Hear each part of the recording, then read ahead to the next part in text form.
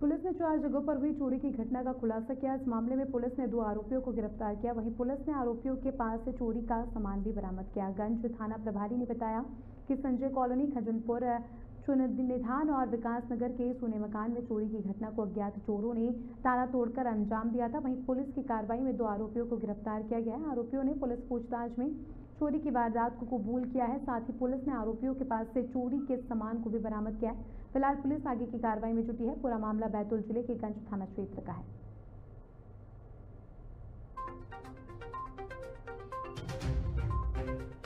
दो आरोपियों को इसमें पकड़ा गया था, जिसमें से एक अमन, पिता शंकर लाल गायकी, ये निवासी चुन्नी रहने का है, और दूसरा है पालस पारस उर्फ़ सीलू।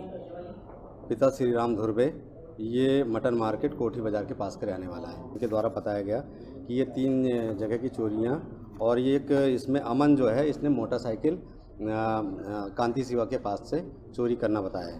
लगभग साढ़े तीन लाख करीब का माल बरामद हुआ है, जिसमें एक मोटरसाइकिल साइकिल भी जब्त की गई है।